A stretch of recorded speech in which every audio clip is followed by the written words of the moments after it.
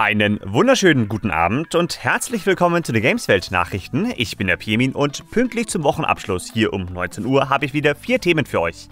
Overwatch 2 bekommt eine Closed Beta, die Gamescom kehrt zurück, Tiny Tina's Wonderlands, das erwartet euch nach dem Release und Insurmountable bekommt ein riesiges Update spendiert. Wenn ihr auch nächste Woche die News nicht verpassen wollt, dann lasst uns gerne ein Abo da und drückt auf die Glocke. Jetzt viel Spaß mit den News.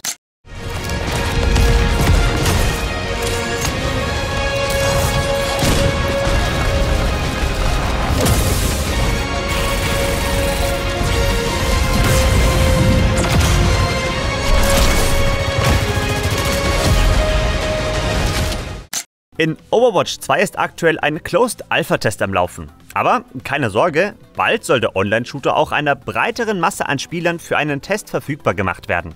Dafür ist aktuell Ende April eine erste PvP-Beta in einigen Regionen geplant. Das Ziel der Testphase sei es, neue Features, Inhalte und Systeme auszuprobieren, sowie den Servern später einem Stresstest zu unterziehen. In der Beta enthalten ist dann der 5 gegen 5 Modus auf vier neuen Karten mit neuem Held- und Ping-System. Des Weiteren gab es noch ein paar Infos zur allgemeinen Release-Strategie. So wird Blizzard den PvP vom PvE für Overwatch 2 trennen.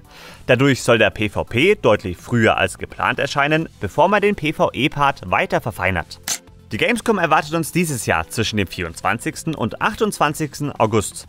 Was letztes Jahr schon geplant war, soll dieses Jahr endlich umgesetzt werden. So setzt die Messe auf ein Hybrid-Event mit Online-Inhalten und endlich wieder auch der klassischen Messe in Persona.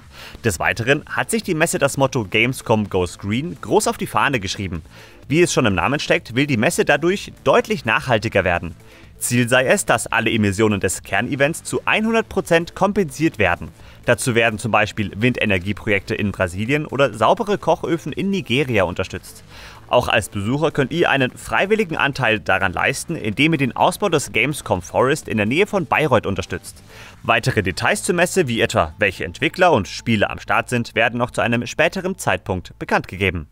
In genau zwei Wochen erscheint Tiny Tina's Wonderlands. Nach dem Release wird das Borderlands Spin-off aber auch weiter mit frischem Content versorgt. Innerhalb des Season Pass bekommt ihr vier große DLC-Pakete spendiert. Jede der Erweiterungen beginnt dabei im Traumschleier Ausblick, bevor ihr in illusionäre Umgebungen gezogen werdet. Dabei durchlauft ihr fünf Level, um am Ende einen Boss zu legen. Als Belohnung winken dabei legendäre Waffen, Ausrüstungsgegenstände und weitere Objekte. Zudem liefert euch obendrein das vierte DLC noch eine neue und dann siebte Klasse. Tiny Tina's Wonderlands erscheint am 25. März für die PlayStation 4 und 5, Xbox One und Series sowie den PC. Insurmountable von Indie-Entwickler Byte Rockers Game und seinem neuen Publisher Dedelic Entertainment bekommt ein großes Update spendiert. Die Version 2.0 des Roguelite-Kletterabenteuers der etwas anderen Art erwartet euch dann mit zahlreichen Neuerungen. Am 14. April könnt ihr euch auf neue Missionen, eine brandneue Story und weitere Fähigkeiten freuen. Mit dabei sind 10 bis 12 Nebenmissionen, die auf prozedural generierte Karten setzen und euch mit wertvollen Belohnungen wie bessere Ausrüstung und Erfahrungspunkte belohnen. Im neu eingeführten Basislager könnt ihr dann permanente Upgrades vornehmen, euch auf die nächste Expedition vorbereiten sowie Dialoge verfolgen, die eine mysteriöse Geschichte offenbaren. Und damit sind wir auch wieder am Ende angelangt bei den Gameswelt Nachrichten für heute. Wenn ihr am Wochenende noch nichts vorhabt, schaut euch gerne die neueste Folge Inside Coin an und dann hören wir uns am Montag wieder. Habt eine schöne Zeit. Servus.